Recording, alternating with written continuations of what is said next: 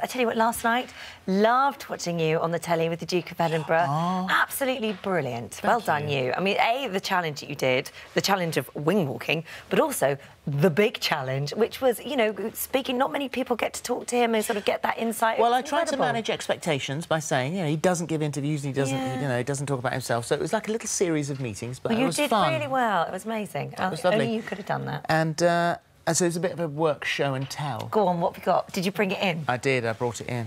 Look, there it is. There's my, uh, there's my, there's my diamond Look at pin. That's your pin. Look at that.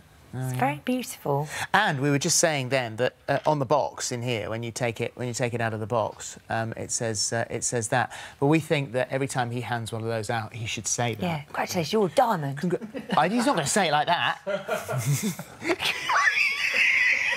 what diamond? Oh, well done. Well done, you. Well done, you. Congratulations, you're a diamond, you are. Well, well done, you. You are a diamond. Thank you.